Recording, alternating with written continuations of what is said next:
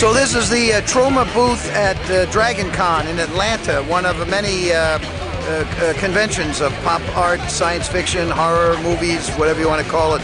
Uh, there's Comic Con in San Diego, there is MegaCon in Orlando, there is even Genghis Con in uh, Pittsburgh. And um, these are ways for independent filmmakers to market both their movies as well as to get some publicity. Have flyers and other informational goodies handy to promote your film. These your filmmakers here. Hi. Well, I see there's a camera. Wow.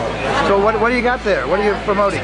We are promoting our Middle Earth Idol film, and we're promoting all this stuff. We want people to like go on our site and check out our stuff, MarsProductions.net. How old are you?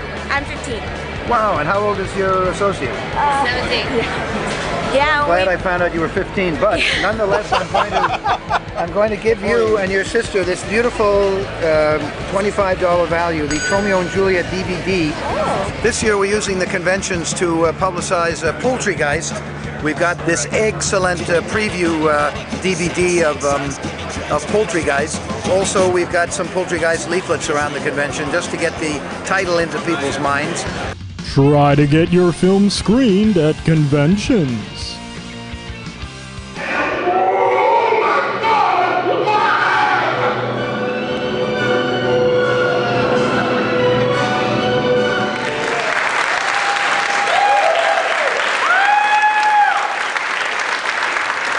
Volunteer to get some very valuable real estate at conventions. For you as a filmmaker, these conventions can be an excellent opportunity to sell your movies. If you're making uh, no-budget films, uh, you can sell a meaningful number of DVDs at these conventions. We've got volunteers who um, are Troma volunteers who enjoy this uh, subculture and are willing to um, to man our booths and uh, sell our DVDs. And um, if they want to sell stuff, we let them sell stuff.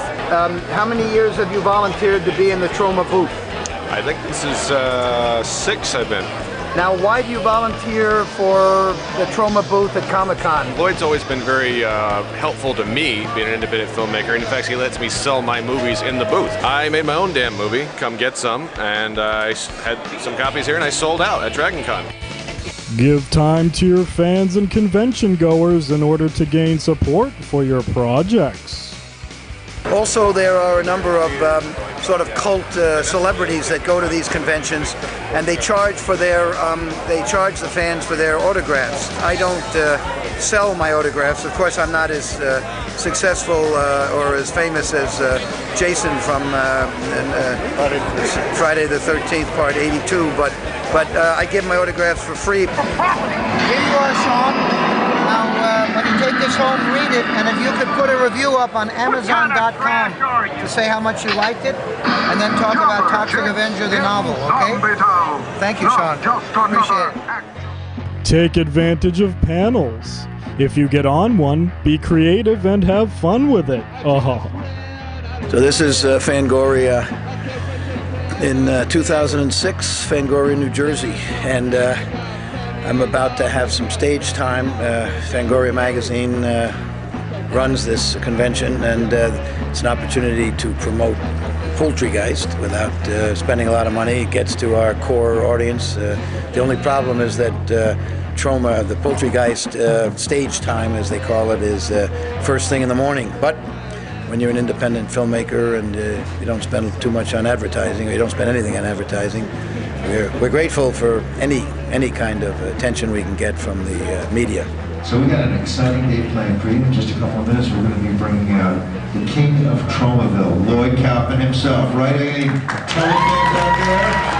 Thank you, everybody. We have with us some of the amazing people who are behind the, in front of the camera, behind the cameras of the wonderful new film coming up from Troma called Poultrygeist.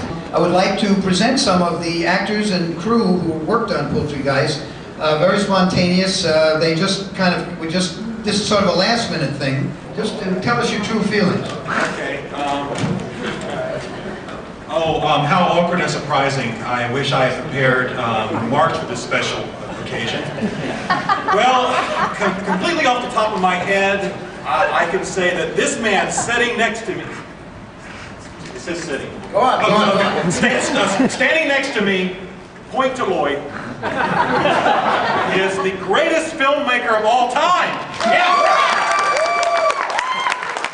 In closing, make sure your audience knows that you are serious about your cinema.